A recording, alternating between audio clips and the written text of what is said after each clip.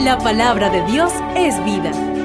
Ilumina nuestro corazón y alimenta el alma. Radio Natividad presenta el Evangelio de hoy.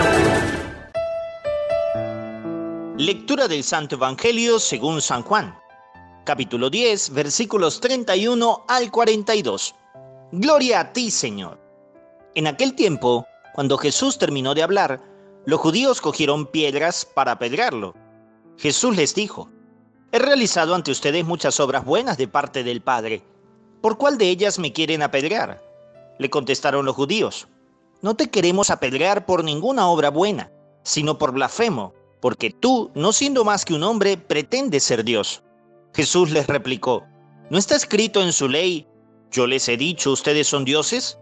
Ahora bien, si ahí se llama dioses a quienes fue dirigida la palabra de Dios, y la escritura no puede equivocarse, ¿Cómo es que a mí, a quien el Padre consagró y envió al mundo, me llaman blasfemo porque he dicho soy hijo de Dios?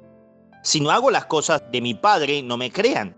Pero si las hago, aunque no me crean a mí, crean a las obras, para que puedan comprender que el Padre está en mí y yo en el Padre. Trataron entonces de apoderarse de él, pero se le escapó de las manos. Luego regresó Jesús al otro lado del Jordán al lugar donde Juan había bautizado en un principio y se quedó allí.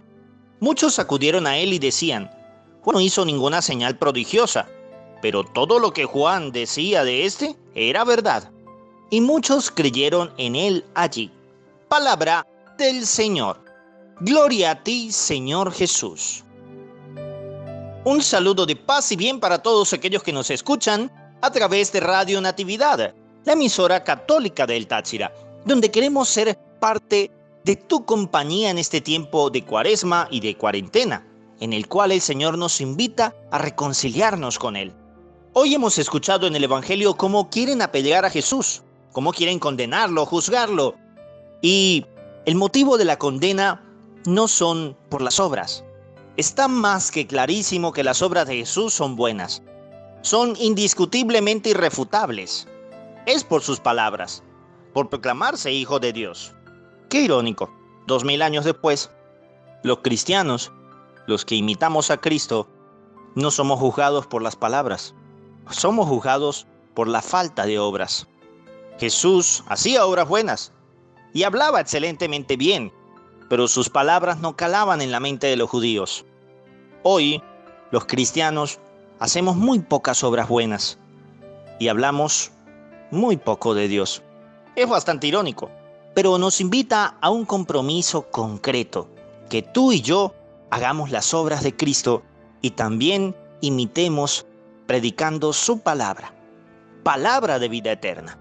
No olvides las etiquetas, los sacerdotes buenos somos más. Yo tengo un amigo sacerdote y hoy más unidos que nunca, porque en esta cuarentena Dios también nos está amando mucho más. Dios te bendiga. Gloria al Padre y al Hijo y al Espíritu Santo como era en el principio, ahora y siempre, por los siglos de los siglos. Amén.